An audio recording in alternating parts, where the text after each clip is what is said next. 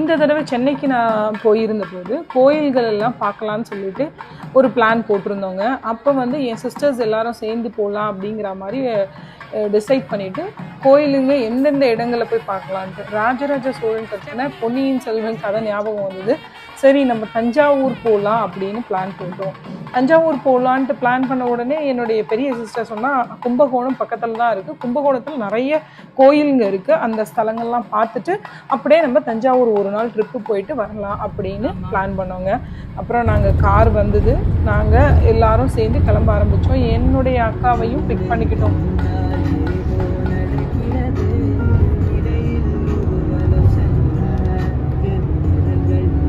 நாங்கள் எடுத்த ரூட்டு செங்கல்பட்டு வழியாக திண்டிவனம் விக்ரவாண்டி விழுப்புரம் அப்படியே அந்த ரூட்டை பிடிச்சி கும்பகோணம் போயிட்டு கும்பகோணத்துலேருந்து தான் நாங்கள் தஞ்சாவூர். லஞ்ச் பிரேக்கில் ஒரு இடத்துல ஸ்டாப் ஓவர் பண்ணோங்க. அது டோலுக்கு போகிற வழியில் ஒரு ஒரு தாபா மாதிரி ஒரு இடம் இருந்ததுங்க. அங்கே போயிட்டு நாங்கள் ஏதோ ட்ரிங்க் வாங்கிட்டு அந்த ட்ரிங்க்கோடு சேர்ந்து நாங்கள் கொண்டு வந்த புளி சாதம் உருளைக்கிழங்கு இதெல்லாம் சாப்பிட்டுட்டு கொஞ்சம் பிரேக் எடுத்துட்டு அதுக்கப்புறம் நாங்கள் கிளம்பணும்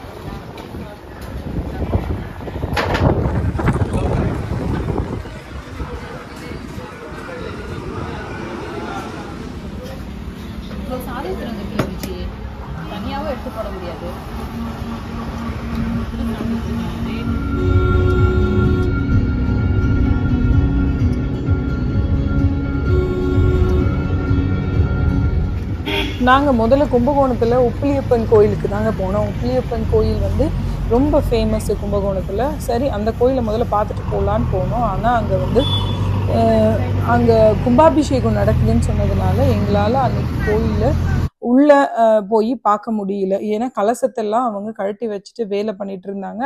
கும்பகோணத்தில் மட்டும் நீங்கள் பார்க்க வேண்டிய ஸ்தலங்கள்னு பார்த்தா பதினாலு கோயில் ஸ்தலங்கள் ரொம்ப பிரசித்தி பெற்றதுங்க. அதில் வந்து காசி விஸ்வநாதன் ஆதி கும்பேஸ்வரர் அப்புறம் திருநாகேஸ்வரம் சங்கரபாணி சக்கரபாணி உப்பிலியப்பன் அந்த மாதிரி நிறைய கோயில் அங்கே பார்க்கலாங்க. நாங்கள் சில கோயில்களை பார்த்தோம்.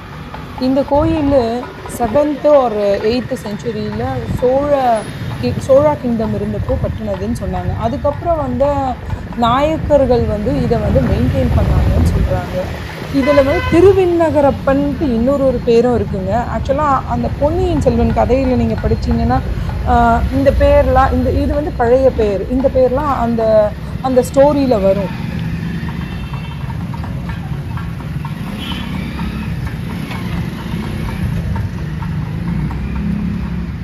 கோயிலுங்களுக்கு போகிற ட்ரிப்பு வந்து எப்போதுமே ஒரு மன அமைதியும் ஒரு பாசிட்டிவ் வைப்ஸ் கொடுக்கும்.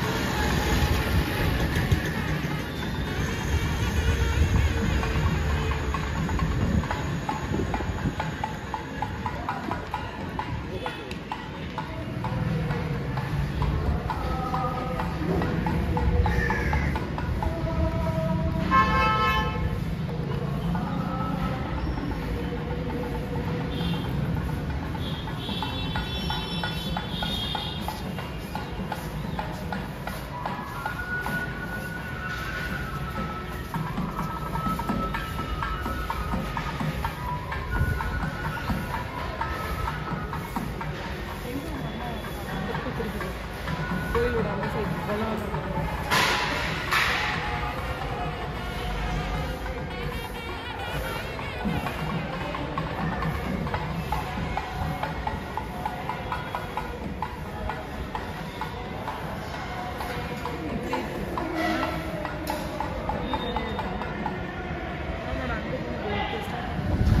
இந்த கோயிலில் ஒரு பெரிய குளம் இருக்குதுங்க. அந்த குளத்தை பார்த்துக்கிட்டு நான் இருந்தப்போ அப்போ அங்கே உள்ளவர் சொன்னார் இங்கே கும்பாபிஷேகம் இன்னும் ரெண்டு நாளில் நடந்துடும் நீங்கள் தேர்ஸ்டே வந்து பார்க்கலாமே அப்படின்னு சொன்னார். ஆனால் எங்களோட பிளானு ஒரு நாள் ஸ்டே பண்ணுறது தான் அதனால் எங்களால் பார்க்க முடியாமல் போயிடுச்சுங்க. கோயிலில் உள்ள அந்த மூலவரை பார்க்கல. ஆனால் உச்சவரை பார்த்துட்டு நாங்கள் வந்தோம்.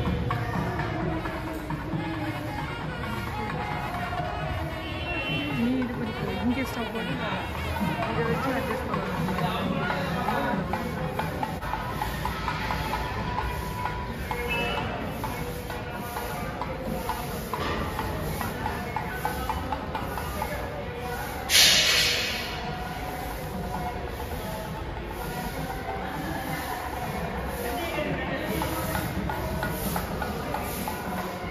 இந்த கோயிலுக்கு எப்படி இந்த பேர் வந்ததுன்னா பூமாதேவியே திருமால் திருமணம் செய்து கொண்டு போது உப்பில்லாத சாப்பாடு சாப்பிட்டாருங்க. அதனால தான் இது வந்து உப்பிலியப்பன் பேர் வந்ததுன்னு சொல்கிறாங்க இப்போ வரைக்கும் இந்த கோயிலில் நெய்வேத்தியம் பண்ணுறது உப்பு இல்லாமல் தான் வந்து அவங்க பிரசாதம் பண்ணி நெய்வேத்தியத்து நெய்வேத்தியத்துக்கான உணவு பண்ணி வைக்கிறாங்கன்னு சொல்கிறாங்க அந்த கோயிலில் திருமாலோட அவதாரங்கள்லாம் பார்த்துக்கிட்டே அப்படியே அந்த கோயிலை சுற்றி வந்துக்கிட்டு இருந்தோங்க.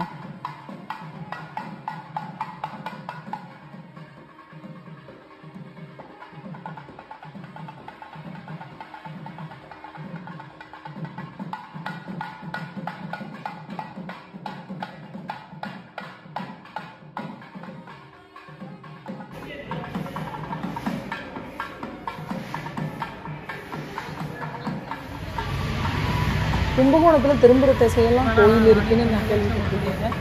இப்போ தான் எனக்கு கும்பகோணம் வரத்துக்கான வாய்ப்பு கிடைச்சிது.